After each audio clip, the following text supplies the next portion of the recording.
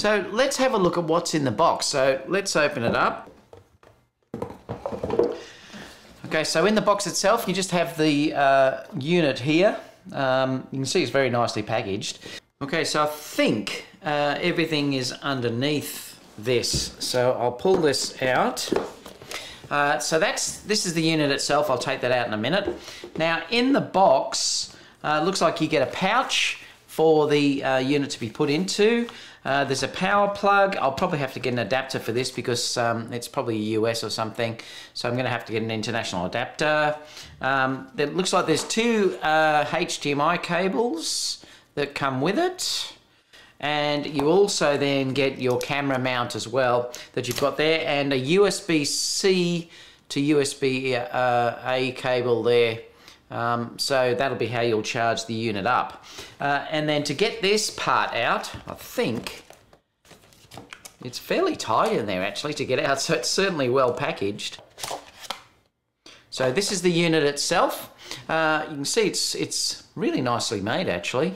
Uh, feels really good on the back. Uh, then you just get, I think this is probably, yeah, it's just got your SIM card uh, remover in it so you can take your SIM card out or put a SIM card into it so I'll keep that in the box at the moment uh, and it's just a little user manual that comes with it as well. So the ports, the back of this, there's, there's two HDMI that you've got here. Um, there's one USB port that you can also connect HDMI out uh, if you have an adapter. Uh, you can also have the HDMI that's here. This is the out. Um, and then there's an Ethernet. That's an audio port that you've got here. And then you've got your USB type C there that you obviously use to charge. Uh, apart from that, there's just your um, on off button, I would say, through here. Uh, you've got a little SIM card that you'd use through here, and that's an SD card that you would attach through this section through here as well. And you've got an audio out through here as well that you could attach headphones or things like that to. Um, so it looks like a really nice unit. So what we'll do is we'll set it up, I'll get it working, uh, and then we'll have a look at it working. Okay, so you'll notice when I first boot this up, it, it comes up to setting your language. So I'll just go next on this, and then you can just put in your time that you are. Now we're Sydney, so I'm just gonna find Sydney through here. There we go, Sydney is plus 10. So I'll go done. And then now it's asking for an email, so I'm gonna put my email in. So I think you just tap and then you can stick your email in. Oh, so we have to sit, uh, get a network connection up first. So I think I've got to go up to the top up here and then select a Wi-Fi network, use Wi-Fi. Okay, so it shows connected on here. So I'm using that one. So you can see it's connecting, it's, con it's grabbing the uh, internet address. It'll come up in a second. Now it's saying connected, so it's done. So then I can just, I'm already on that one connected. So I can just say, okay, go back, now go next. Now it's sent a verification code to my email, so I'll check that now. All right, so once I've, it asks you to put in a password, which I did, uh, and then it's saying um, the uh, this updated version number uh, it just gives you that, I think. So I can say, okay, I think it's asking me if I want to upgrade the firmware. So I'll say okay, and now it's upgrading the firmware. Okay, so you can see the setup that I've got here. Um, you can see that uh, the A7S is on the right-hand side. That's going to be shooting the Dalek. Uh, the other camera, which is the A7 III, is shooting the Star Wars character that I've got there as well. Now, they're both connected through the HDMI cables that you're looking at through here. So that's how they're both connected uh, at this stage. Uh, and then I'll just be using this unit to switch between the two of them. And I've got an overhead camera just here that will be showing you what I'm doing on the actual display itself. Uh, so what we'll do now is we'll actually have a look and um, see how we add a program in. Okay, so now that we've unboxed it and everything and looked at how you originally set this up, I thought I'd show you how you can create a live stream and use the actual interface of this uh, unit. Just to click up here, just to take you through this menu, uh, you can see here that I've already set up Facebook and also YouTube uh, on there as well. There's Twitter coming soon, and that may be Twitch. I'm not sure what that one is. Um, now, just your settings through here, you can check your Wi-Fi, uh, the version number of the of your firmware and things like that uh, in there. The IMEI, and there's more. Will take you back to uh, their website actually. Uh, and there's also your network settings through here email, serial number of your unit, the time zone, and if you've recorded any video at all on the internal card uh, as well. Uh, you can log out of the whole device and you can also do a factory reset from here as well. So let me go back. So adding the um, Adding the actual streams is very easy once you've got an account set up. So I'm not going to take you through that, but uh, it is quite a simple process. You just put your username and uh, your password. Now to create a live stream, all I do is I click on here on the plus. Now I'm just going to show you at this stage, I'm, I'm just going to create just a, you know, a private uh, stream so that I don't get people sort of logging in. Uh, so we'll do that now and we'll just go test. I mean, it doesn't matter whatever you put in. This will be the, your heading and then underneath uh, I'll just put testing. All right, so then we've got that done. You can see the live uh, stream title is there and the description is testing as well. Your date, you can choose from here. I'm going to make it today. Uh, and then I'm just going to put it sometime in the future. So your first one is the hour. Now I go PM and I'm going to make it say 6 uh, PM and then it jumps then immediately to the minutes uh, scrolling through here. So I might make it about 6.45 just so that I've got enough time uh, to demo all of this. Uh, and then I'll just say OK. Now you can see now that it's set down here with it's scheduled for December 23rd, 2020, and it's at 6.45 p.m. my time here in Australia. So if I go create, what it will now do, it just creates that schedule. Now it hasn't posted it yet because I actually have to tell it what I want to stream to because I can stream to multiple devices. So to get into it, all I do is I just click here and then it will open up. Now it will find the two cameras that I've actually got selected on these units at the moment. So I've got an A7S3 and an A7 III connected through here. Uh, the A7S3 is on HDMI 1 and the A7 III is on HDMI 2.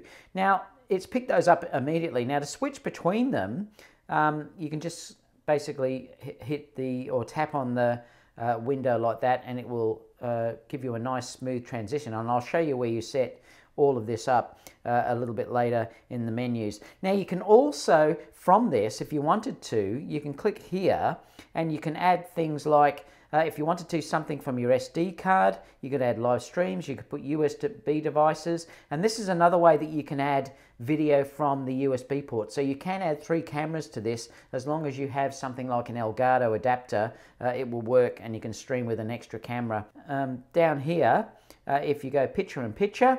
Now, if I had one of these as myself, well then obviously I could put myself in the corner and you could be showing something else. But what I'm going to do is I'm just going to show you how this works. So what you do first, you select your first picture and then you say next. Then you go your next one and say next. Now you'll see that it puts the pictures then in picture in picture and then you can move this around to anywhere you'd like to put it.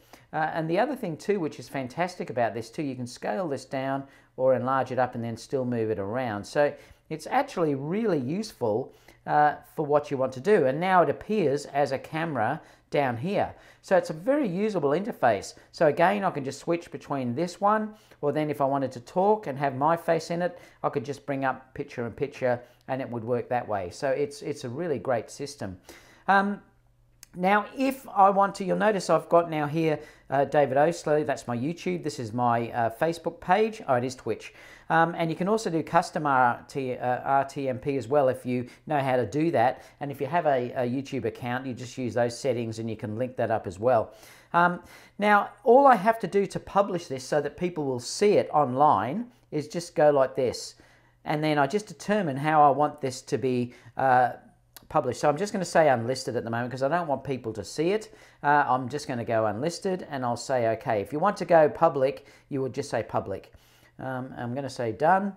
Now that will now appear inside my YouTube feed. Uh, and if, if I'd put it public, other people would have seen that. Uh, they'll get a notification that you've got a, a, stream coming up in the near future. So I'll just take a screen grab and I'll show you how that appears in YouTube.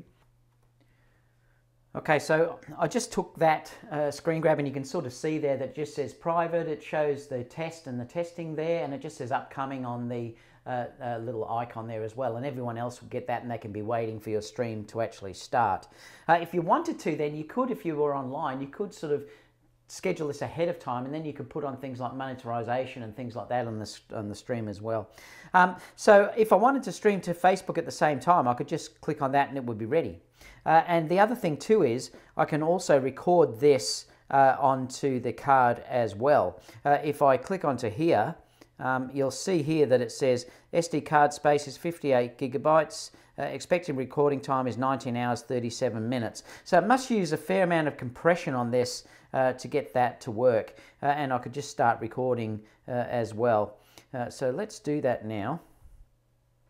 Uh, so it's recording at the same time uh, and then I could stop it and I'll record, I will record, I'll press record on there once I start the actual live stream just so that you can sort of see how that works.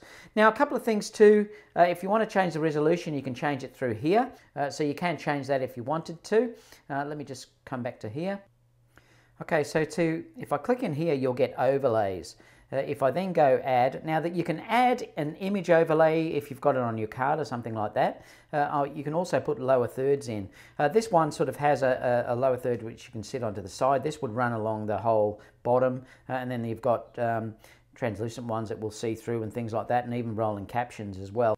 Okay, so what I'm going to do is I'm just going to click on this top one. Now, before you start move, uh, typing anything in, you can move it around to where you'd like to go on that side. Um, you can also play with things like offsets and things like that as well, uh, depending on what you'd like to do, or you you know you can sort of turn this around. So you have got a little bit of control over how this looks.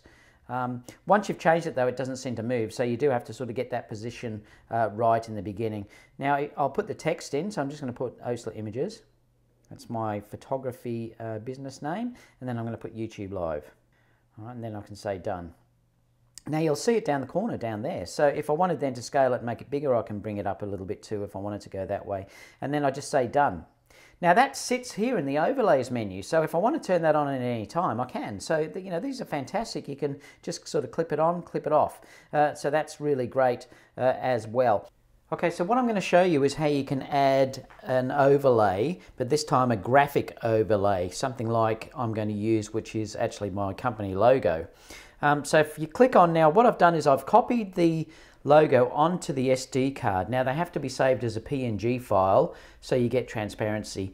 Uh, so what I'm going to do is just click add now. Now I'm going to click on image overlay this time and then it will come up. There's a test one but this is the one that I've got now which is called watermark uh, and I'm going to click on that and then just say done and then what it will do, it just brings it on the screen. Now, all you then do is you have to scale down the size that you'd like this to go, and then you simply move it into the position where you'd like it to go.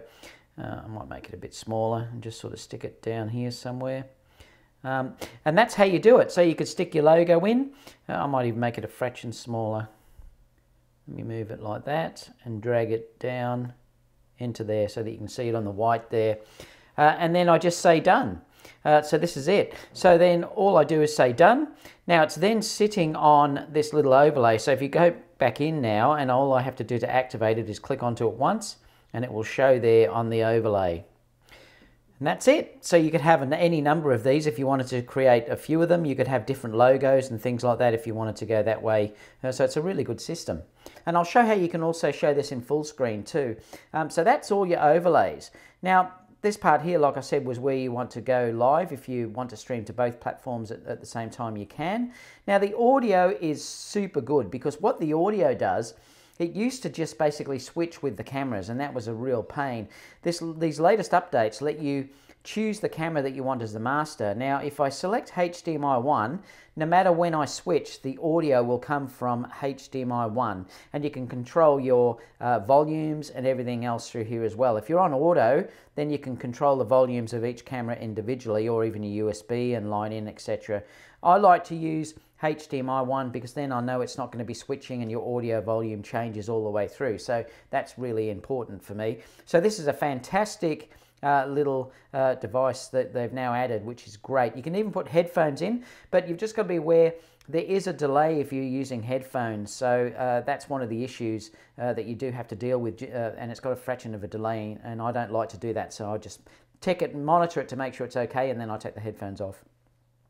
Uh, this part here, you can add parts uh, like a scoreboard. So if you were doing this for, you know, a live football match or something like that, you can turn this on down here. Now you can change this because if you look at the team info down the bottom, you can put whatever you want to put down here. You can even add logos and things like that, uh, stuff like that. It's just got the uh, 218 World Cup uh, there as well. Uh, and then what you can do is if I go back, uh, you can then change the score. So this is how you'd change the score as well, which is just fantastic if you do that sort of work. You can even put a timer in, so you could check how long each half has been uh, going. So you could then say start and it will actually uh, go and then you could press pause if you wanted to pause it uh, or reset it. So, you know, it really is uh, a great little uh, app if you're um, into sports and things like that. I think that's a terrific uh, part to this. I, I wouldn't use that because I don't do sports, but it's a lot of people might find that fantastic. This other section here we're going to test shortly because uh, this is meant to be the comments that come through in YouTube. So when I go live, I'll just get my wife uh, to log in and hopefully she can see that working and we'll be able to see her comment coming up uh, in there as well. Uh, the next section down here is just how you can determine if you want to just click to switch, and that's what I like, or you can click, uh, click double uh, click to switch. So you'd have to press twice to make it uh, switch. I, I just like click once to do it. Um, SD card management is here as well. It'll tell you uh, how much space you've got left on your card. The HDMI out lets you have a cable into a monitor so you could view it on the big screen. Uh, so that's very handy too if you'd like to do that. Uh, and that might be something that you could put into a switcher or something like that as well. Video transitions, this is where all the uh, transitions are. Uh, you've got cut, I'll show you just how these work. That's what used to be in there, but now they've added things like fades, and I love the fade. I think it's it's terrific. The fade, you've got wipe uh, there as well. You've got directional wipe. Uh, you've got translation, um, window. You've got simple zoom. These look pretty freaky. uh, you've got cross transition, and then you've got squeeze as well down there. So you've got plenty of choices. I just honestly would just like I just like fade, and I'm so happy that they've got these transitions now into this, which is really terrific. Um, and that's it for the settings and things like that. Uh, and basically, if you want to see this full screen, all you have to do is click down here, and then you'll see the uh, image in full screen. And then if you wanted to, you've still got all of your controls through here. Like if I want to stick the lower thirds in, I can do that. Um, if I click on it again, it takes it off. Uh, if I want to come to here, you can still go live and choose your platform.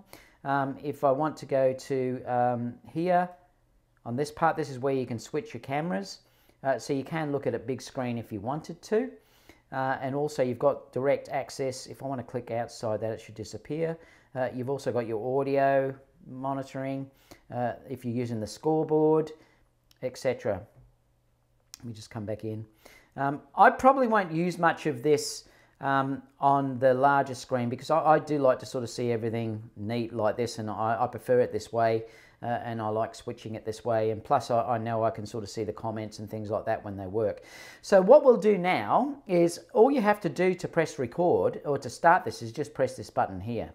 Um, and what I'll do is I'm just I'll record it too at the same time. So we'll go live. Now I've just got to make sure I send my wife the link. All right, so what I'm going to do now is I'm just going to press record before we start. Uh, and I'm going to say start recording. And now I'm just going to click on this. Now it takes about, it's saying start early because I'm before the time. All right, so what this does, it also takes about 10 seconds I've noticed before it starts recording. So you sort of have to count down about 10 seconds before it actually starts uh, to come through. Um, and we'll sort of test that in a minute when we sort of see it up. So I'm just waiting now for this to come on live. Okay, so when we're here, like if I switch now, it'll switch between uh, both um, areas like I was showing before, and I can do that live. Um, now, Kerry, I'm just talking to Kerry on the phone, she's in the other house. Uh, can you now type something? Can you see the chat? So what I'm hoping is that Kerry can talk and I'll see it up through here. Oh, there we go. Yeah, but it's not showing. Oh, there you go. All right, so you can see here that Kerry has uh, a uh, replied or she's put a comment in there as well. Now, I don't think I can reply to it though through here, so but at least I could read their comment and answer it, which is fantastic. Uh, so, Kerry, just write something else. Uh, just so I can sort of see you there and then uh, you can finish. So that's great. So at least I could be sort of traveling anywhere and then I can see the comments come up. Uh, and obviously, I suppose when they come down far enough, you'd just be able to scroll through uh, and go down as well. See, there you go. Just Kerry's just said just testing. So that's fantastic. All right, so that's how that works. So I think that's brilliant. And again, like I said, if I wanted to, I can add picture in picture. I could have done this before if I wanted to, just kept that and then go next and kept that. Uh, have that ready to go before I start. And then I've got the next picture there that I can just bring up. Um, so that, you know, how good is this? It's just amazing. So I really do like the way that this system uh, actually works. I think it's it's fantastic, and you saw how easily I got up. Now it does tell you on the top too that the I've got 822 kilobytes per second up, and I'm on 29 frames per second, and I haven't dropped any frames at all. And it tells you here that it's live uh, 239 and your recording is 247. Um, and it also over this side too, it gives you your Wi-Fi signal uh, and also your battery and it shows you you've got a card in as well and you get a percentage too. Uh, so it's, it's terrific. Now to finish the broadcast, all you do is you just press stop and then it will say close and then all I have to do is uh, stop the recording as well, which it did. Uh, and that's it. And then to delete the actual uh, recording, all you do is you just click onto here and then you can say delete test. And that's it. So what we'll do now is we'll go outside and we'll do a test with it from outside. Uh, and I'm probably, I haven't got a, a, a, card to stick in, a SIM card, but I'll use uh, wireless directly streaming from my um, phone. So we'll try that and just see how it goes uh, with Wi-Fi that way.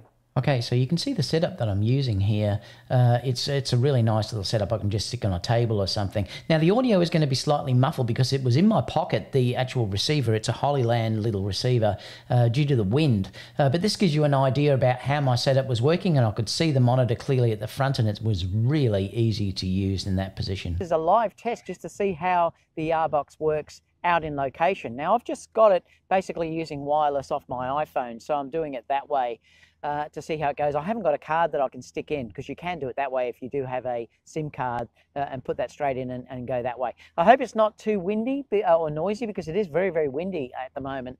Um, so it'll be interesting to see how uh, this actually sounds. I've got the actual microphone sitting inside my pocket down here. Uh, so hopefully that protects it a little bit from the wind. Now, if you can see, I'm going to bring up my um, logo. So that's where you can see my logo that I did discuss earlier. And also I can just bring on the lower third as well. Uh, so I'm just testing this to see how it all works. This is only a very, very small, quick test just to see if everything works fine here. Uh, I want to see how the uh, stream quality is going from uh, using this uh, directly to it. Uh, it's on 5G, so it should be fairly good. and I'll be surprised if, you know, if we're losing frames. I'm just checking to see um, if it's no drop frames at all, it's saying, so it looks like that's all fine. Um, but this is going to be fantastic because could you just imagine being out somewhere on location and you can just stream live like this? You could be doing weddings like this, um, even if you were, say, in a church or whatever. Uh, there's so many things that you could use this for as long as you have a signal or a Wi Fi signal to get straight in uh, onto YouTube or onto Facebook. I'm only going to Facebook uh, to YouTube on this stream. So this is just a test to see how this all works. It's the first one that I've done, so I can't wait to have a look at this on the computer, and I'll show you actually on YouTube how this looks uh, on there as well. So apart from that, everyone, uh, we'll get back to the studio. Okay, so how do we sum this uh, little device up? Uh, build quality is just amazing. I mean, it really is made very, very well. Uh, very sturdy. Uh, the monitor itself is really nice to look at. Uh, and I was just using it outdoors and it was a little bit hard if you get the light flashing on it. It'd be great actually if you could get some sort of a, a um, cover that you could sort of see there like a sun shield. That would be fantastic or a sunshade. Um, uh, perhaps that's something SmallRig or someone like that could do. Um, the quality is fantastic. I mean, if you saw the quality in that video, it really is good for what I was getting. Uh, and being able to stream live like that, like if you, like I said, if you're in a church or a wedding ceremony and things like that, that's another option now that I can offer uh, my clients, which is great. You can just put a SIM card directly in, but I did it directly from the phone, uh, and it worked brilliantly. Uh, the only issue, like I said, was the audio, but that was due to the fact that I stuck that little piece in my pocket here due to it was so windy. If it was a nice, uh, calm day, I could have had the microphone on the outside and the audio would have been much better. Um, but I've tested the audio actually here and it sounds fine if you uh, are recording normally without the wind and stuff uh, blowing through the, your uh, pockets and stuff. Uh, so that was great. I only really had one issue. Um, and like I said to you, I'm always honest with you guys. Uh, and that was the fact that it wouldn't work very well with PAL. I, I was getting an audio dropout, but they actually wanted to downgrade the firmware to the previous one where that never happened. But I loved all the new features that they'd put in. Uh, and I'd actually found that. Um, if I put it to NTSC, and it's so simple on my cameras to turn them into NTSC, all the issues disappeared with the audio. So uh, that was the workaround that I'll use. Now they're fantastic because they do put out continuous fixes and upgrades to the firmware. So they actually said to me that they'll pass that feedback on to their uh, programmers and their support and they'll fix it in a coming update. So uh, I'll be waiting for that. In, at the moment though, I can get around it by just leaving it in NTSC and that's fine. Uh, apart from that, there's no issues at all. Uh, the software worked great. Uh, I didn't really have any bugs, no crashes or anything like that. Uh, I wanted to thank um, YoloBox for sending me this, but like I said, they didn't say, tell me to do anything, to say anything. Uh, it was totally how I found the product, and I've really been happy with it. And I'm looking forward to using this uh, in the future as part of my workflow. If you have any questions, leave them down below, and I'll get back to you as soon as possible. and apart from that, guys, I'll see you all in the next video. Bye for now.